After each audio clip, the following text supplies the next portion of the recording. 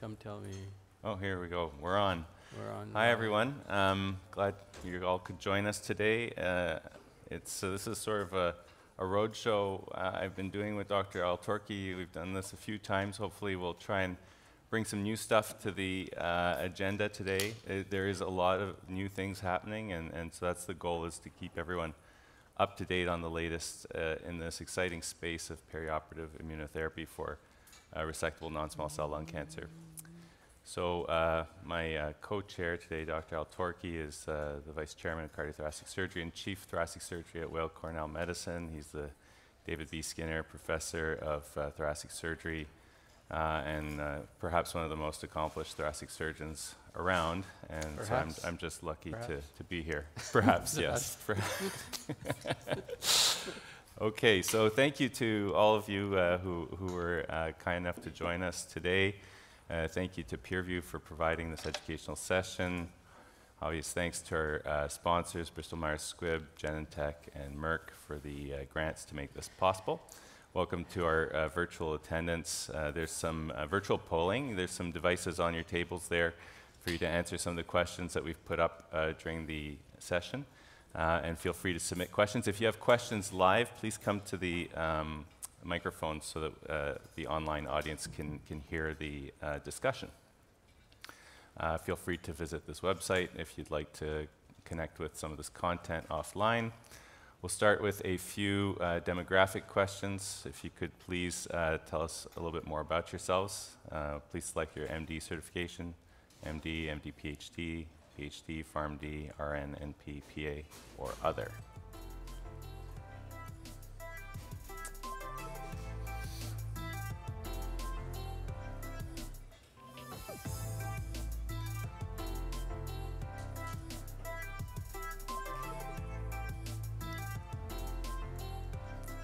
All right, we've got a few of these. Let's see? Hmm, having a hard time advancing. Okay, here we go. Please select uh, the category that best describes your role in practice. Are you a thoracic surgeon, oncologist, pathologist, pulmonologist, interventional radiologist, non-clinical industry or research, patient, caregiver, or advocate, or other?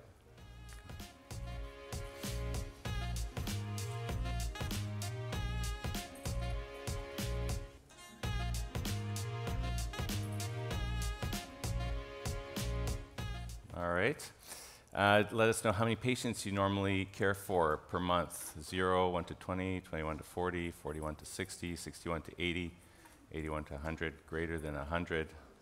You must be very busy. Does not apply to you.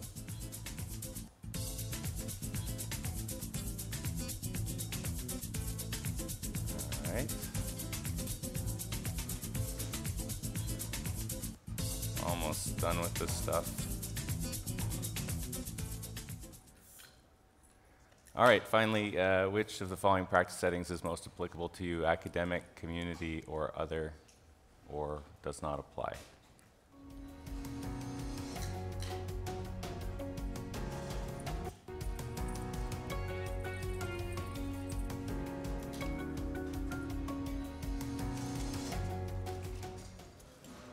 All right, so now that uh, we got through that and most people have their food, we can get on with the, uh, the meat of the talk. So I think it's no surprise to everyone here that um, the landscape for non-small cell lung cancer uh, as a whole is shifting extremely fast. You see this paper that was just published last year with all of the new drugs that have been FDA approved in the metastatic setting and a few very important uh, landmark uh, advances in terms of the perioperative uh, setting.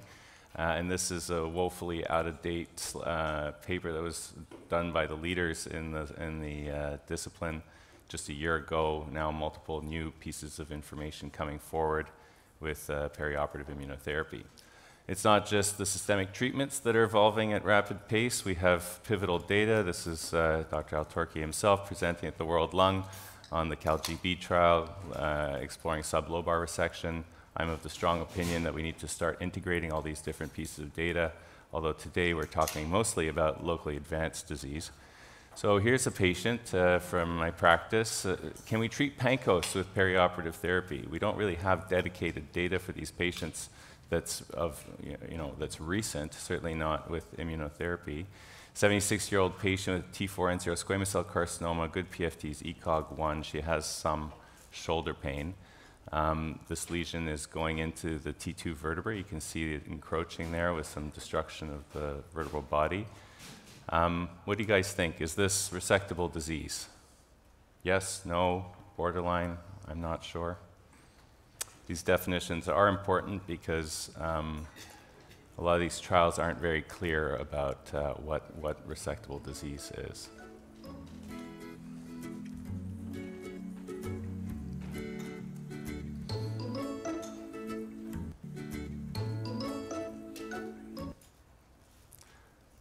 Okay, so look at that. So some people, quarter say not resectable, 10% not sure, which I think a reasonable response, and then somewhere between yes and borderline is uh, the remaining two thirds. So let's discuss uh, the data we have on this. Trying to move this forward. Okay, here we go. Oops. So I think we have at this point two uh, good randomized. Whoops. Oh, uh, do we have another? Here we go. Another polling question for you. Um, which of the, before we get started, just to see where you stand, which of the following do you believe to be accurate conclusions about neoadjuvant immunotherapy based on current evidence? First is neoadjuvant nivolumab plus chemotherapy resulted in significantly longer EFS and a higher percentage of patients with a PCR than chemotherapy alone. Addition of nivolumab to neoadjuvant chemotherapy did not increase the incidence of adverse events or impede the feasibility of surgery. Number three, Nadim 2 confirmed findings from Checkmate 816 in terms of OS and PCR predicting better survival. Four, combination of 1, 3, but not 2. 5, 1, 2, and 3. 6, I'm not sure.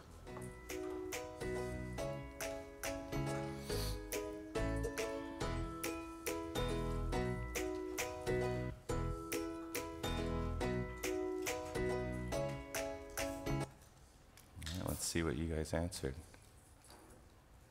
Well, do we get to find out?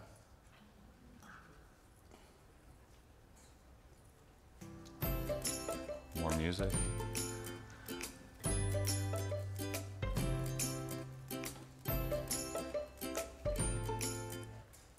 How's it going over there?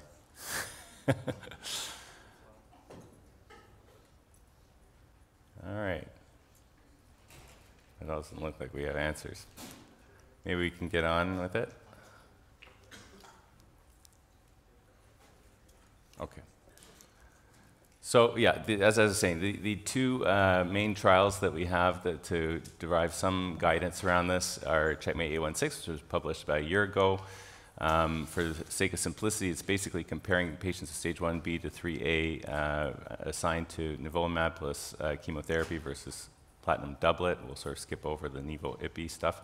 Uh, primary outcomes are EFS and PCR. Nadim 2 is very similar, only that it's uh, exclusively for patients with 3A, 3B disease who are randomized to nivolumab plus uh, pac- uh, carboplatin versus carboplatin alone. And those who got Nivo preoperatively got a six month course of adjuvant nivolumab. Um, it's a smaller trial, academically run, but it's very important in terms of understanding the results of 816 uh, because of this uh, I'll just draw your attention to uh, the bottom right over here, where uh, the academic group was much better in terms of providing us with uh, clinical staging. So you can see that these are N2 patients, T3N1 patients. There's a, about 10% were T4N0 or T4N1. These are classifications that we don't have from 816 in terms of clinical staging. Uh, and so this is useful to, to, uh, to add to our, our understanding. And uh, very importantly, a third of the N2 patients were multiple N2. A lot of people would consider that unresectable at baseline, but not the Spanish. Um, outcomes PCR was comparable between the two trials. They both had vastly superior PCR in the, um, in the uh, chemo nivolumab arm, slightly better in Nadim 2, not quite as good as Nadim 1, where it was about 63%. Is this because of the dosing of the carbopaclitaxel? Is it because that was a, an overcall based on the pathologist and with third-party review there was uh, more uh, rigorous review? We, we, don't, we don't know, but clearly comparable outcomes between the two. When we look at overall survival, which is what we care about in our patients, they also have comparable improvements. I don't think those lines are really well drawn. They're not favoring the uh, Nivo chemo as well as they should. These are redrawn. If you look at the paper, there's very clearly a 12% uh, difference between the chemo Nivo patients and the chemo patients at two years, odds ratio of 0.57. Um, and in the Nadim 2, it was statistically positive with uh, hazard ratio of 0.4, favoring Nivo chemo. 84% overall survival at two years is unheard of in stage three, really benchmark setting um, outcomes for these patients. PCR seems to confer much better outcomes for our patients, so achieving a PCR is a desirable uh, thing. And this was true in Checkmate 816. It was also true in the DEEM. You can see almost a flat line in Nadim uh, in, in, the patients who got chemo nivolumab here. Uh, really remarkable results. Remember, that was a third of the patients. When we compare the two trials, there's some really important things to pick out uh, between them. Obviously, 816 is a larger trial, 358 patients versus 90. Um, the endpoints are similar.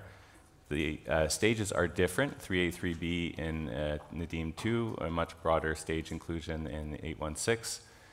816 is pure neoadjuvant, which is, whereas Nadim 2 is periadjuvant, and it's important to take note of that because we will get data on periadjuvant trials in the coming year or two, uh, and they will also, no doubt, change the landscape. Uh, progress to surgery, which has been a criticism of 816, 83% of patients not making it to the OR in, in Checkmate 816. 93% in Nadim 2. Uh, I think this speaks to the uh, maturity and experience of these high volume treatment centers. Uh, Spanish have been conducting neoadjuvant, neoadjuvant, trials for the better part of 30 years now, going back to the late 80s and early 90s when they published their first one in New England. Um, and this is also true in terms of the R0 rate, which was higher in the Nadim 2 and more comparable to what we'd expect from our high quality surgical centers, 93% of stage 3A and 3B patients having complete resection. I think that's remarkable. Overall survival, however, is comparable, although uh, 84 versus 82%, where Checkmate 16 had quite a bit of uh, lower stage patients, um, makes you think uh, that maybe perioperative will be a, a winning strategy. What was the cost of adding nivolumab to chemo for these patients? It was minimal. There was no increment in adverse events of any cause or uh, event or grade 3, 4 events. Surgery-related adverse events were not uh, increased either. 11.4 grade 3, 4 um, adverse events after surgery in patients who've received chemo nivolumab. If you look at the latest iteration of the GTSD for lobectomy, we're talking about grade 3, 4 event rates for 95% patients upfront surgery, mostly stage one lung cancers in the 8 to 9% range. These are much more complicated patients having more extensive surgery with comparable adverse event rates. I think that's important to note. Quality of life is maintained with the receipt of preoperative chemoimmunotherapy. So don't worry about your patients coming to the OR uh, completely worn down by the treatment. Uh, oncologists are now able to deliver treatment in a very safe way. We now have to learn how to interpret pathology reports, which are going to change dramatically. Uh, your pathologist should be able to report things like percent RVT, which is the percent of residual volume of tumor. Uh, they should be definitely reporting major pathological response, which is less than 10% viable tumor. They should report whether there's been a PCR. It's a lot more work for pathologists, and hopefully, new technology will facilitate their workflows. But it's important because EFS is dictated partly by the degree of response. So you can see here, um, Mariano Provencio presented this at ASCO last year, where you see uh, increments in EFS survival based on the degree of response. A lot of questions about what to do with patients who might have persistent N2. If you are one of those people who chooses to mediastinally restage your patients after induction, well, uh, this is nice data from Janis Taube saying that if you had a, P a PCR or 0% RVT in the primary tumor and the lymph node, you have your best response. These are the PCR patients. If you've had a PCR in the primary tumor and persistent disease in the lymph node, you have the same survival as if it's the reverse persistent disease in the primary and PCR in the lymph node. Um, the worst survival, obviously, is patients who have residual disease in both, uh, in both fields. So again, I ad- advocate for patients to go on to surgery uh, regardless because you get all this information. It's important prognostically. And as I said, the morbidity from surgery is not that bad. If you are okay with operating for stage one, you should be okay to operate for this. Um, extent of resection. These were data uh, presented by uh, Stephen Broderick at Ipsos uh, this, this fall. I think it's important and surprising to see that the, although albeit small cohort of patients who had a pneumonectomy had remarkably good survival. We have 76% EFS, so that suggests that their OS is even better uh, at two years. And, and so clearly through the 816 process, these patients were reasonably well selected, must have been physiologically fit. But I would not say that pneumonectomy is a, uh, is a contraindication to considering a patient for preoperative therapy. If you think they can tolerate it physiologically and you think it might be required, then I think it's an acceptable pathway. And um, I'll mention a few things about some of the trials that are ongoing or for which we'll be getting results that, should, uh, that you should be aware of regarding this specific issue. Minimally invasive uh, or thoracotomy. So one of the findings was in the stage three patients in 816, there were more patients who had a lobectomy, more patients who had a minimally invasive. Um, there's a difference if you just look at the blue curves. Uh, forget the chemo because we're not giving preoperative chemo probably almost at all, except for uh, specific circumstances. So we're comparing the blue curves. There seems to be less uh, good survival in patients who had a thoracotomy or conversion, but that's also probably because they had more complex disease, or probably it's probably just an um, artifact of higher stage in those patients. What about R0? Uh, like I said, there was some criticism about the lack of uh, R0s in the uh, 816 cohort. It didn't seem to affect EFS that much. It's only a 10% decrease in EFS in those who, few patients who did have an R1, R2. And no one here wants an R1, R2. I mean, that's obviously not what we're going for. But evidently, um, these patients still have a reasonable outcome. Um, and uh, although we're not aiming to do incomplete resections, there are probably ways to salvage the patients who do have incomplete resections. So uh, just for the, to demonstrate learning, uh, if you guys don't mind answering this question again, um, which of the following do you believe to be accurate conclusions about neoadjuvant immunotherapy based on current evidence? I have to read these things, I apologize. Number one, neoadjuvant nivolumab plus chemotherapy resulted in significantly longer EFS and a higher percentage of patients with a PCR than chemotherapy alone. Number two, addition of nivolumab to neoadjuvant chemotherapy did not increase the incidence of adverse events or impede the feasibility of surgery. Number three, Nadim 2 confirmed findings from Checkmate 816 in terms of OS and PCR, predicting better survival, and then four, five, and six being your sort of various combos.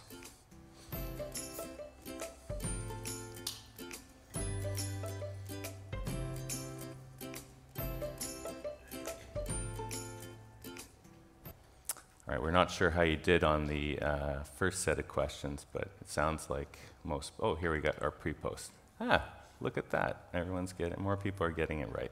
I think five is the right answer, by the way. Although you may have debates about that. All right, a little bit about what's on the, on the horizon. So I, I wanted to, to, spend a couple moments talking about uh, the latest results of the LCMC3, which were published in Nature Medicine. This is a beautiful effort by a consortium of uh, US uh, thoracic oncology teams. Um, and it's a phase two trial. It's the largest trial of its kind looking at pure uh, IO chemo-free neoadjuvant treatment. Patients got two doses of uh, neoadjuvant atezolizumab and then went on to surgery. Uh, there were pretty strict guidelines about which patients. It was similar 1B to 3A, but the 3As, you know, were, were a little bit more restrained uh, than, than they were in 816. And then adjuvant therapy as dictated by usual care. So the, the pathological regression forest plots are not as dramatic as 816 or Nadim, but the survival curves are impressive. So does the benefit of immunotherapy sort of confer survival advantage despite the uh, perhaps more uh, less extensive pathological response? It's, a, it's an excellent and provocative question, and we don't really have any trials, uh, large-scale trials anyways, comparing immunotherapy alone to uh, chemoimmunotherapy, but it's a compelling question because obviously no patients really get excited about the idea of getting chemo. Um, this is a really cool study that uh, Dr. Altorki led. Um, I put this picture because it's really the perfect example of all the kids playing in the sandbox together nicely.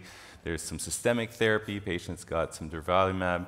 There's some radiation, but it's not too much radiation, low dose SBRT. And then the surgeons get to operate in a, in a nice, uh, cleaned up, safe field. Um, so just for um, simplicity, I won't go through the design, but, but it's randomized. Patients got two doses of durvalumab alone versus two doses of durvalumab where they got low dose 8 gray over three days along with that first dose of, of durva. You can see it doesn't take a genius to see that there's a dramatic improvement in um, pathological response. Nearly 50% of the patients had a major pathological response with the addition of those uh, three doses of uh, SBRT like uh, radiation. Um, this is chemo free. It's really interesting, um, and the surgical outcomes were, were uh, exciting. So, hopefully, this will uh, be uh, something that we'll bring into phase three to be tested against the new standards. Why did I put this? Well, uh, the next trial I'm going to discuss is throwing the kitchen sink at the disease. This, the increased trial, is presented at ESMO from a Dutch group. These were those borderline resectable patients, kind of like the case I showed you uh, at the very beginning. These patients got concurrent chemoradiation plus Nivo plus IPI and then went on to surgery. It's a small trial, select patients. I'll draw your attention to the 81% grade 3 4 event rate. I think that's a lot. Um, but on the flip side, they had nearly 60, plus, well, 60 plus percent um, uh, major pathological response and over, well, 63% PCR. So great uh, response rates, um, uh, slightly concerning toxicity. Surgical outcomes were good, uh, that said. Um, compelling. Is this the way to go? Maybe for some select patients, but I do find it to be incrementally significant on the tox side. This is sort of a compilation of the, if you've put Checkmate 816 aside, a compilation of the peri-adjuvant trials, phase three trials that are ongoing. Uh, Keynote 671, which is interesting in that um, it's powered for OS in the primary endpoint, so it'll probably be one of the first to report on OS. One concern is that all the patients had to get cisplatin, they weren't allowed to get anything else. And the regimen for squamous was gemcitabine, which is perhaps a suboptimal regimen that, that has less IO synergy. So we'll see what happens for those patients in the, in the squamous histologies. IMpower uh, 030, which I don't really have anything specific to say other than I think it'll be extremely positive.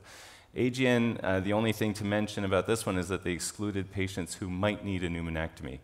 Um, and so these will probably be lower stage patients than 816, for example, and perhaps the other trials. And then um, 77T, which is really quite similar to 816 in terms of its design, only with that extra adjuvant portion of IO. So what happened to uh, my patient? This is her response post-induction. You can see that if you've ever treated oligometastatic disease, this is what happens to the bone. when it's had a nice response, you get this rim of sclerosis. Still a little bit of destruction there. Uh, it's a near complete metabolic response. So what do you do? Uh, you know, is this a PCR? This is a big operation. The patient needs spinal stabilization. They need a hemivertebrectomy. Well, we, we operated on her because that's, that's what we do. I learned how to do this operation from Garrett Walsh uh, down at MD Anderson. It went smoothly, um, although she had some problems with her rods and had to be re-explored to be restabilized. So it's, it's a very morbid operation. Uh, but she had a PCR. So, could it have been de escalated, maybe avoid the vertebrectomy? I don't know. Should we be operating on these patients? It's hard to know. Uh, I hope to, that we do because I think they can get good outcomes and be cured. So, my take home message here is uh, in 2023, the most impactful tool at the thoracic surgeon's disposal is highly active preoperative precision therapy. So, I encourage you all to get biomarker testing on your patients and to consider these treatments uh, as much as possible. Uh, and if any of you are interested in coming to Montreal uh, June 16th, 17th, we have a great early stage meeting. Dr. Altorki has uh, already told us he'll be there, and uh, I hope you'll come. It's F1 weekend, so I'm just uh, shamelessly plugging that. Dr. Altorki, all yours. Thank you, John. Good afternoon, everyone. I am here to tell you that all what you heard about new adjuvant therapy is a lot of hype, and that really the way to go is adjuvant immunotherapy. so, that was a joke. I can, I can take it. Uh, okay, so this is the polling question. Adjuvant immunotherapy is currently FDA approved and indicated for which of the following patient populations with non-small cell lung cancer following resection and platinum-based chemotherapy? Patients with stage 2 to 3A whose tumors have PD-L1 expression on more than 1%, 1% or more of the tumor cells, patients with stage 1B to 3A whose tumors have PD-L1 expression on more than 1% of the tumors, 1 or more percent of the tumor cells, and patients with stage 1B to 3A whose tumors have PD-L1 expression on 50% or more of the tumor cells, and 4, I am not sure.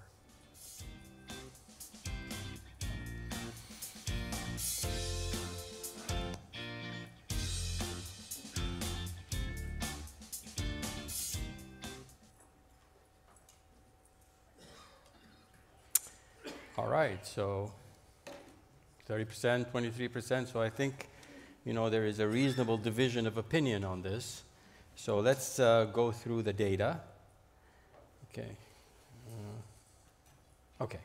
So ever since I've been doing thoracic surgery, there's been this ongoing debate, never resolved, of do you give adjuvant therapy or new adjuvant therapy, whether it's chemo or chemoradiation or what have you. And there are some very strong arguments, I would say, for doing adjuvant therapy. Number one, there is no surgical delay. We all know that patients, by the time they hit your office for surgery, they've already been running around for an average, I would say, of 60 days. So there is a lot of delay before they see you, and there is good evidence that delay is associated with poor outcome.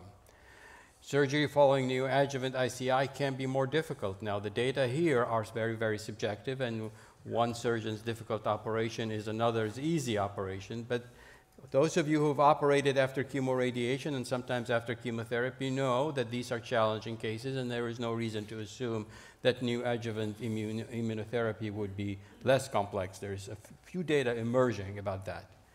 There's a proven benefit for adjuvant therapy. I mean, think of it, in the last 30 years, the only thing that really worked, not so much, but worked a little bit, was adjuvant chemotherapy. And of course, immunotherapy is thought to be more effective in the setting of minimal tumor burden. So if you get rid of all the cancer, maybe your immunotherapy will work better. That is also a subjective opinion, not supported by any data. So there are four uh, randomized trials, all industry sponsored. Well, one of them is being, uh, two of them are actually being run through cooperative groups. ANVIL is being run through the uh, US intergroup trial and NCI BR, BR31 is being run by, uh, by the Canadian uh, group. And uh, these employ either Nivo or durvalumab, IMpower 010, and Pearl are run by um, Genentech Roche and uh, Merck. And the first one out of the gate was IMpower 010. And it's almost coming up on two years now since the results of IMpower 010 was presented at ASCO. And this really is uh, a, a breakthrough trial. Uh, I must say the results are completely surprising to me when they did come out. So they took patients with uh, a global trial, patients with completely resected stage 1B to 3A non-small cell lung cancer, uh, regardless of PD-L1 expression. They had to have cisplatin-based chemotherapy. So that was and it couldn't be carboplatin, it had to be cisplatin-based chemotherapy, up to four cycles of that, and then randomization happened after you completed the chemotherapy, not necessarily all four cycles, but after the chemo. So if you did not get chemo for whatever reason, or if you get disease progression, you're out. And then you get randomized to a atezo every three weeks for a total of 16, uh, 16 doses? Yeah, 16 cycles of atezo, so one year or best supportive care. The primary endpoint was disease-free survival, and it was tested hierarchically in the way that the statistician designed it is the first the, uh, the first uh, target population is patients in who, uh, who have PD-L1 expression stage 2 to 3A with PD-L1 expression in 1% or more of the tumor cells. If it was positive in this group, then you test it in the second target population, which is DFS in all patients with stage 2, 3A, regardless of PD-L1 expression. And if it was positive after that, you did it in the uh, intention to treat population, which included stage 1B. Overall survival was designated as a key secondary endpoint. So at ASCO, like I said, the, the, the, results were presented, and here just to show you the highlights of this. So it's mainly uh, two-thirds were men, two-thirds had no non-squamous histology. PD-L1 expression uh, was present in roughly a little bit over 50% of the patients. This was a, uh, a, a, group of patients that had a significant proportion of patients with stage 3. About 50% had stage 2, and a little over 10% uh, of the patients had stage 1B. Uh, this is again reflected in the burden of nodal disease. Again, as you can see, N2 about a third, N1 about a third, and the rest are N0. And they had lobectomy uh, in the majority of cases. The other thing I will draw your attention to is that 83% of the patients, or 80% of the patients had mediastinal node dissection and the rest had sampling. So these guys had the Cadillac treatment. Cisplatin-based chemotherapy, a lobectomy, mediastinal node dissection. This is the best that you can get. That may not be necessarily reflective of many patients that we see in actual clinical practice, but it is a good place to start. So the primary endpoint, which is uh, disease-free survival in patients with stage 2 to 3A that express PD-L1 in 1% or more of the tumor cells, there was a significant improvement in disease-free survival over best supportive care. At two years, it was 60, uh, uh, two years it was 74% versus 61%. The um, uh, hazard ratio was 0.66, which is equivalent to uh, a 34% reduction in the risk of uh, dying or recurrence. In all randomized patients with stage 3A, there was also a significant improvement in disease-free survival favoring the atezolizumab arm. The hazard ratio was 0.78, but as you can see here, it approaches unity. In the ITT population, which, which, which included the patients with stage 1B, uh, the follow-up was, there appeared to be a benefit for atezo, but uh, did not cross the statistical significance boundary, so these patients are still being followed for that particular endpoint. So this is uh, uh, uh an unplanned post hoc exploratory analysis to see what the impact is on the various demographic and clinical variables on, uh, on, on, on DFS in the target population, again, stage 2 to 3A that expressed uh, PD-L1 in more 1% or more of the tumor cells. As you can see across the age groups, gender, race, uh, both histologies really, but more so in the non-squamous histologies. The greatest benefit was in patients with stage 3A and in patients with uh, positive tumor burden. Uh, the numbers for EGFR and ALK were really small, precluding any meaningful uh, conclusions here, and, and, certainly the ADAURA trial renders that conversation really moot at this point. So one of the issues that arose is if DFS is positive, what, is, what are the data driven by? Uh, so it was mainly driven by the high PD-L1 expressors. So this is the overall group of, P of the stage 2 to 3A uh, that express PD-L1 in 1% or more. But as you can see, for those that express PD-L1 in 1 to 49% of the patients, it is true that the hazard ratio was 0.87, but it did cross unity, and the main effect was really driven by those that express PD-L1 in 50% or more of the tumor cells. When you look at the hazard ratio here, I think it was 0.43. And think about that for a second because it means there's a 57% reduction in the risk of dying or recurrence from lung cancer in that group. That's an amazing thing to, uh, that you know, I personally have never seen. Now, this, the top line includes all patients with ALK and EGFR mutations, so the thinking was maybe these were sort of uh, muddying the water here, but even when you take out the EGFR and the ALK population out of this, the data really doesn't change very much, and you can still see the DFS is primarily driven by the 50 percenters, although the primary, uh, the primary population for which the study was designed was this one here. So anything else would be an exploratory analysis. So in fact, the FDA in October, think about this for a second. So I think, I think the data was presented in June at ASCO. In October of the same year, the FDA approved the atezo for adjuvant treatment of following resection of, uh, uh, and platinum-based chemotherapy in patients with stage 2 to 3A whose tumors have PD-L1 expression on 1% or more of the tumor cells in these United States. Not so elsewhere. For, I think in Canada, you guys 50%? 50%, but uh, 816 was approved before the publication. Okay. Yeah. But 50, but 50%. yeah, but 50%. yeah, no, in the adjuvant Uh, setting. And, and, and in most of the European Union, it's also, uh, well, not nearly all the European Union, it's approved for, for, for the 50 percenters. You know, I'm glad we're here. It's, it's good to have an option for patients because really these patients have very few options once they've gotten the best treatment that they can get. And then the, the question always arises in your, on, on all your tumor boards is what happens with the patient who got carbotaxol or carbopem? And, and, and the answer is you get a atezo afterwards. Um, another issue that came up is what is the impact of some of the surgical procedures on uh, whether or not you give immunotherapy. Remember, immunotherapy, one of the big concerns that we have as surgeons is, is that it, you, know, you can get uh, immune-related pneumonitis, and would it be appropriate to give it to somebody who had a pneumonectomy? And the, the, argument goes, well, look here, you know, most of the benefit really is driven by the lobectomy group, and the pneumonectomy group, you know, the hazard ratio sort of crosses unity, the bilobectomy group the same. So thinking went, well, if you had a pneumonectomy, you probably shouldn't get it. Now, number one is the trial wasn't designed to test that question, so that's sort of uh, opinion and not data.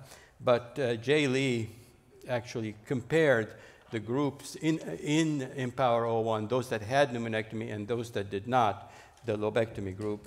Uh, so he- here, here are his findings. So uh, again, similar in terms of male gender distribution, similar in terms of non-squamous histology in between the pneumonectomy group as a whole. 180 patients had pneumonectomy and the remainder had lobectomy. Similar in terms of the frequency of stage 3 and stage 2 disease, the adequacy of their mediastinal lymph node dissection, and the proportion of patients with N2 disease. So a pretty good comparison, even though it was not intended to be that way. They also, eh, I, I'm one to say that, you know, after pneumonectomy, patients are less likely to tolerate chemotherapy as well. Well, that did not prove to be true here. They got as much chemo cisplatin exposure as the lobectomy group, but perhaps because they are the best of the best of patients. And uh, here, down here, you can see that the number, the proportion of patients who were hospitalized during adjuvant chemotherapy was similar between those that had lobectomy and those that had pneumonectomy. So, for all intents and purposes, there was no great difference uh, between the two groups before being randomized to atezo. And these are the adverse events associated with uh, atezo in blue, best supportive care in orange. This here is the pneumonectomy group, and this here the lobectomy group. And you can just look at this and say, you know, there's no difference really in the AEs that occur following either of those. And, well, what about their ability to tolerate atezo? So, treatment was discontinued in roughly about a third of patients in each group. And why was it discontinued? Either to a, adverse events, roughly the same, or disease relapse, roughly the same. The median treatment duration was 10 months, and this, remember, it was 16 cycles of atezo, so uh, they all get 16 cycles of atezo, so that's pretty good. So I think, you know, uh, uh, obviously we ha- one has to individualize in each particular case, but there is no really compelling data to suggest that you should avoid adjuvant immunotherapy in patients who had pneumonectomy. Well, we talked about uh, PD-L1 expression as being a biomarker that drives the benefit from adjuvant immunotherapy. Another biomarker that we might consider that is not yet standard of care is ctDNA in these patients. And I must say that this trial did a really good job in collecting samples for ctDNA. 600 patients had their samples collected before and after. And as you can see here, the, the orange lines are the best supportive care. The blue lines are the atezo groups, okay? So clearly, uh, a positive uh, ctDNA had negative prognostic implications. If you have positive ctDNA, you're going to do poorly.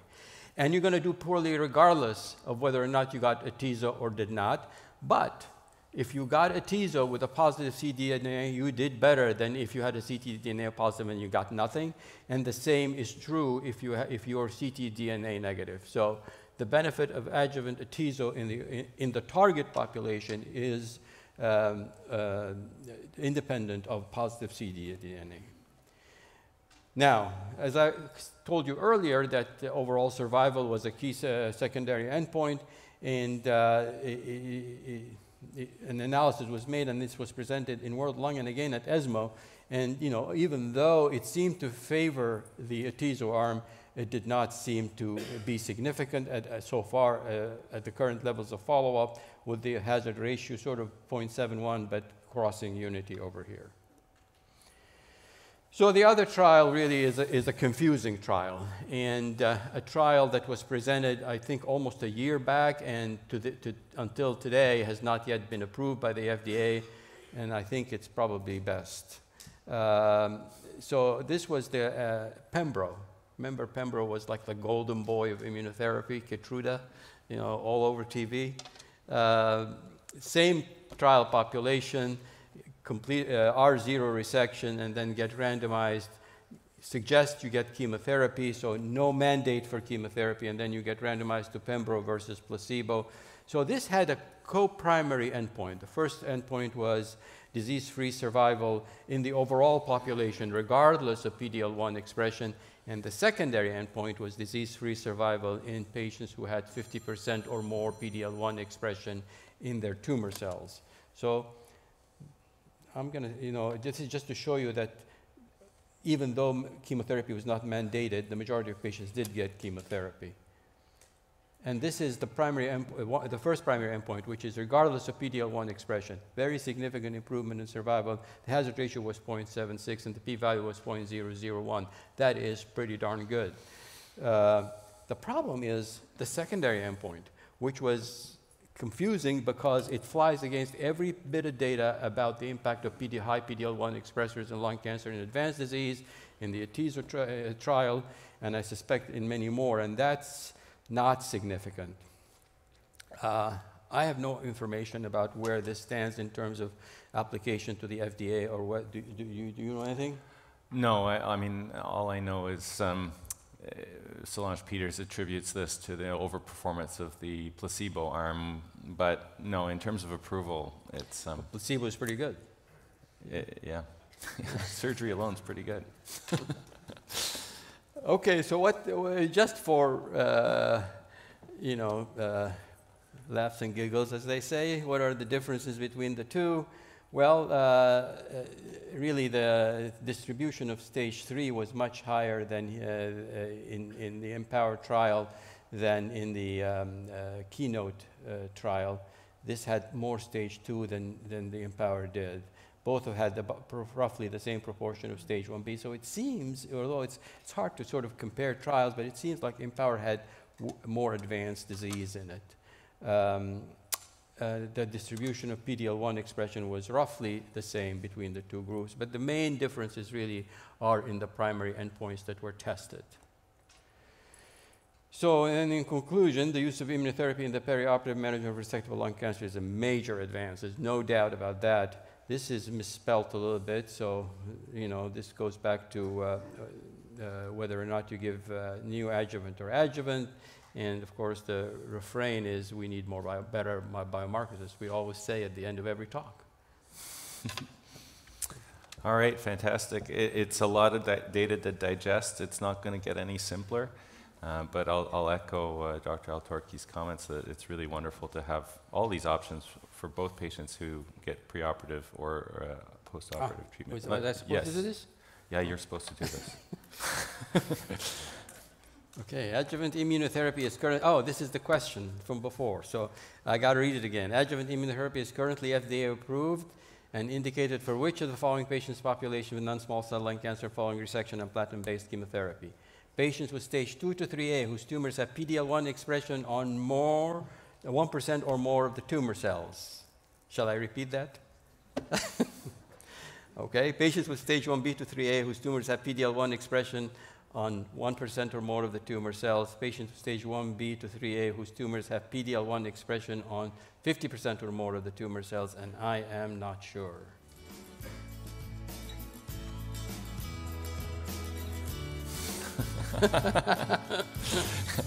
Yeah, this will be concerning if there's more number fours here. Let's see what we got. Yes. Oh, look at that. All right.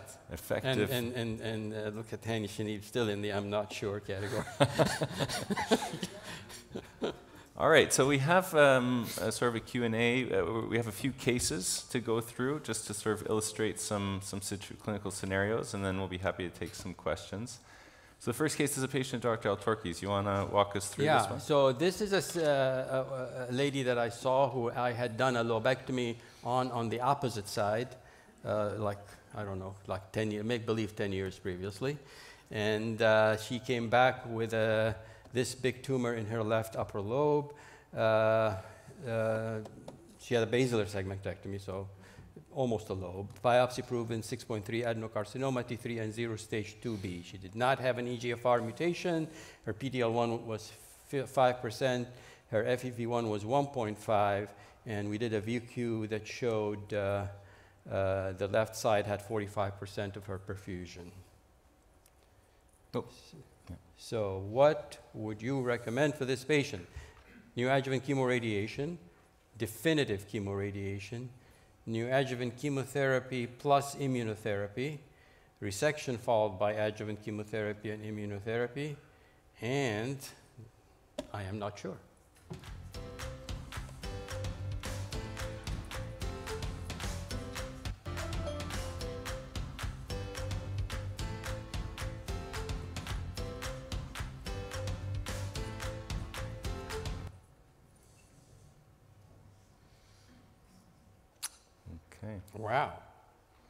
That's not what we did.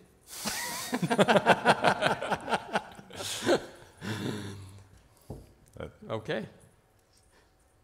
That's, uh, she had a left thoracotomy, left upper lobe. She had uh, solid predominant adenocarcinoma, PT4N1. She had adjuvant chemotherapy followed by adjuvant atezo. So I'm happy, this is a good point to have a discussion about this. Uh, my concern was that uh, she's an elderly woman and uh, the tumor appeared quite central and uh, perhaps a borderline resectability. And perhaps if she is not responding to the treatment, she might progress and preclude the probability of resection. That seems very fair. Uh, I'm just cu- there, actually, I'll take advantage of this to take one of the questions from the from the queue here. Um, the question is: In IMpower 010, the patients included were postoperative stage 1B to 3A, most of them. Um, this is this is stage 3A as well. But the question is, what do you do with postoperative 3A, 3B, 3C if you happen to find that? I don't don't know how After resection? after resection. Are you recommending they should all get? Well, just remember that, uh, that uh, the, the staging with IMpower was in the old staging system, right? So So say this was T4N2, which would be sort of beyond the. this one here? Let- Let's say it was an N2, T4N2, which it's even more advanced stage. Would you recommend they get adjuvant atezo in that case? Uh, it would be stage 3C, right? Eh, correct, yeah. Yeah, so yes. Yeah. According to the current I, I mean, I indication, the answer would be yes. What, what if what if they had been to sort of a less uh, glorious surgeon and they had a positive margin? Would you would you still recommend they get adjuvant atezo? if- Yes. Yeah. Yes. I, th- you know, the, it is the, the, the, the shrinking area of options here once Yeah. you get to a tumor like that. I mean, what are you going to offer a 77 year old who has a positive margin? I mean, I don't think radiation does a whole lot. In fact, it's probably not good for her. Mm-hmm. So I think, uh, I think immunotherapy is fairly well tolerated until it's not.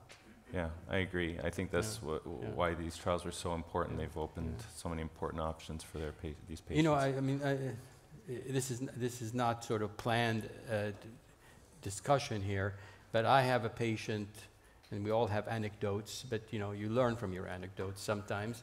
I have a patient who had T4 in one that we treated on the radiation IO trial, and I actually left disease on his left anterior descending. hmm And uh, he got uh, focused radiation to the heart area, and uh, ad- adjuvant durvalumab, and he is the guy is five years out. That's a big deal. I mean, you know, uh, I think I think the, this whole thing with uh, immunotherapy, even though we don't understand everything behind it and how it works and so forth, I think is a real game changer, and uh, you know, we should be open-minded about We that. should keep yeah, uh, the LADs Yeah. of uh, hopefully all of our patients. yeah, yeah. Um, okay, maybe uh, if people don't mind answering now that we've had this little discussion about this case, how uh, have, has this discussion changed your mind? Would you now go to upfront surgery since most advocated for chemoimmunotherapy? Oh, do we have to read this? Oh, maybe. So, yeah, after listening to our discussion, what would you recommend for this patient now? Neoadjuvant chemoradiation, definitive chemoradiation, neoadjuvant chemoimmunotherapy, resection, followed by adjuvant chemoimmunotherapy.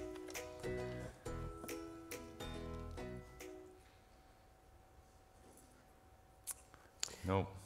Oh. Yeah. uh, oh, okay. So you convinced. Uh, you So, convinced so, so I, I do think it's really important to, uh, uh, and Jonathan may not like me after this, but, uh, you know, the, the data in, uh, in 816 is primarily driven by the benefit, you might agree, in patients with stage 3A. Agreed. Yeah. And uh, the patients with stage 1B and 2, especially if their PDL1 is not that hot, you know, tend to do maybe okay, maybe the same. And I think there is room for equipoise for patients with stage 1B and 2. And that's a trial that needs to be done that will never be done, which is to take those patients with 1B and 2 and randomize them to neoadjuvant versus adjuvant. And the only people that can do this trial is industry, and they want to move on from that. yeah. Yeah. Uh, So we, we, we actually need to make those decisions on the patient. The patient comes in and has poor performance status, and before you know it, he gets four. I have a patient who got one cycle of chemotherapy and crashed and burned, Yeah. and now he's uh, no longer fit for surgery. There's So, certainly difficult discussions for yeah, those yeah, patients, yeah. and individualization is going to be important. Here's another one of your patients. Uh, oh, what happened here? Okay, Okay, Go so ahead. this was a 76-year-old man, former smoker, has this tumor. He uh, had a biopsy proven 9.8 centimeter squamous cell T4N0 stage 3A. PDL1 was 60%. He had a bunch of stents. He was on Plavix. He had an implantable AICD. His FEV1 was 1.5, and the VQ is the same uh, as the previous case, although we did do another VQ in this one. Um, so I guess what would you do? Would you give this man neoadjuvant chemoradiation, definitive chemoradiation, neoadjuvant chemotherapy plus immunotherapy, or I'm not sure?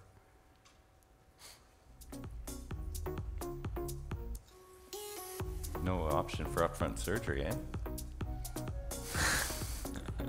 I'm not crazy.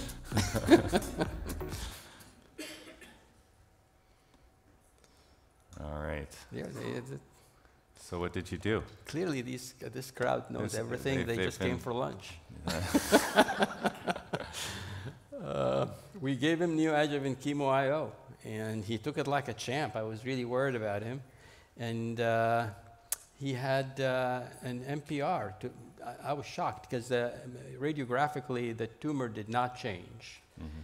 And, uh, and and and by PET the tumor did not change very much. You know, the SUV went down a bit, Yeah. but uh, it's it's always a good lesson. Uh, we learned that from the days of neoadjuvant chemotherapy that uh, you know radiographic response is not a correlate of pathologic response. Mhm. So we found a 13.8 fully differentiated squamous cell invading the chest wall with negative margin, negative nodes. Would you give him adjuvant therapy, Jonathan? Um, wait, what was PDL1? I, I mean, I, I, 60%. yeah, I think it'd be nice. For, I, I think if I had to uh, guess what the future will bring is that this patient will likely get adjuvant therapy. Um, I think it's going to be a patient-specific discussion in most cases. I'm curious because I probably would have given chemoimmunotherapy to the first patient. Does the centrality of the lesion matter for you? Is the fact that this is more peripheral, you don't have hilar issues in this? No, there's actually, uh, the, Did the- have if you, uh, if you look, you know, the SVC was compressed and the Okay. tumor sort of extended to the base of the neck and was compromising his subclavian vein. Is it, uh, who, who would give this guy adjuvant uh, immunotherapy in this setting? just by By the show, of hands. Is that two hands back there? Dr. Kasivi. Yeah. Yeah. So I think we need data on this situation. It's Yeah. sort of a data-free zone, and um, And for sure, for us in Canada, we don't have option for it, but here it seems Yeah, it's nobody, possible. right? Well, one, Yeah. right? Yeah, I think that's uh, not unreasonable. All right, so this is one of uh, my patients. Um, it's a complicated case. So she's uh, 75. She has a 20 pack year history, but quit many years ago. Uh, she comes with these bilateral lower lobe lesions. Uh, they're both sort of directed up more in the S6 region. She has really excellent lung function, ECOG 0. The SUV on the uh, right side is 11 for a 4.8 centimeter tumor, and 19 for a 2.7 centimeter tumor on the left. We did a PET, we did EBUS staging, the mediastinum is bone dry, and uh, we had good cellularity with negative lymph nodes. So it's sort, sort of uh, what seems to be bilateral early stage, stage one tumors. What would you do next? Would you book this patient for bilateral stage lower lobectomies in the absence of tissue for expediency? Uh, would you uh, suggest bilateral TTNAs for diagnosis, or you're not sure?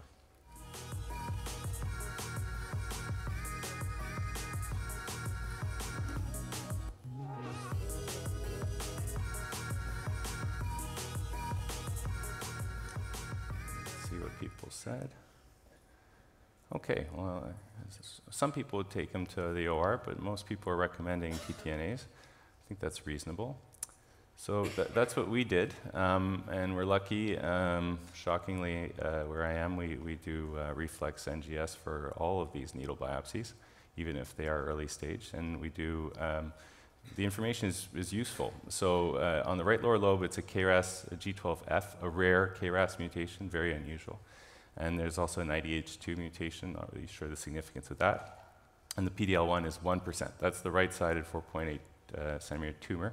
On the left side, we have KRAS G12C with a PIK3CA um, that's picked up and a PDL1 of 100%. So just by probabilities, the likelihood that these are related tumors is ex- exceedingly low. Um, so with supplements, the usual uh, histological classification, but they're, they're clearly two different tumors. So we have a clinical T2BN0 on the right and a clinical T1CN0 on the left in a fit patient. Um, what do you do now? Who's doing still bilateral stage lobectomies, adjuvant therapy? Who would do a lobectomy on the right, SBRT on the left, adjuvant therapy? Uh, neoadjuvant chemoimmunotherapy, bilateral stage lobectomies, neoadjuvant chemoimmunotherapy, bilateral stage surgery of some description that is uh, uh, tailored to the response, or you're not sure.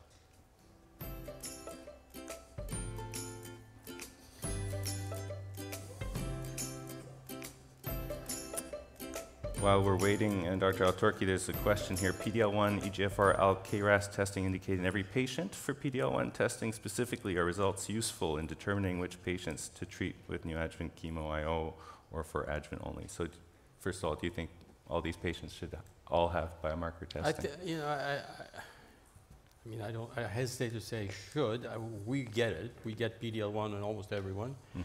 and uh, we get EGFR on almost everyone, especially if we're going to give them neoadjuvant IO. Okay. And uh, To what extent does the PDL1 influence your decision about preoperative treatment?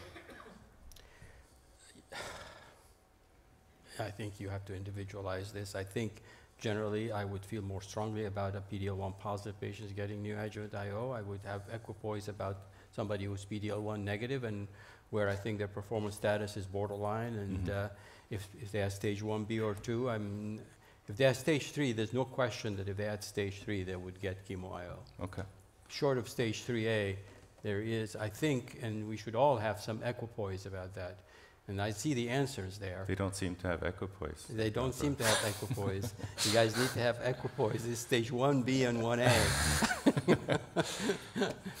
Fair enough. Okay, Yeah. well, I'm surprised. I didn't think that's what people would put down. That this was her response. Well, you are a very persuasive man. You- So these, this was her Yeah. pre-treatment scan on the left and post-treatment. I cheat a little bit. The windows aren't exactly the same, but there was reduction in size in both. The right lower lobe went from 4.8 to 3.7, and the left from 2.7 to 1.3. I don't know if this is the right thing. I had a very long, extensive discussion with the patient, but we did do bilateral staged S6 VAT segmentectomies. You know, I, I feel like that's uh, important for this patient. She had other GGOs elsewhere in the lung that might come up and be, need to be treated in the future. Um, but that, we had decent margins on this. But I, I do think that preoperative therapy created a scenario that What, did she have PCR? So, so she had um, no pathological response on the right-sided tumor. It was 100% I rest my RVT. case. That doesn't mean she'll recur. She, she was no negative. And on the left, we're waiting for the path response. I don't have it yet. I don't. So, to be continued. Yeah. So, would more people do lobectomies here after having that little short discussion as we come to a close here? We're almost done.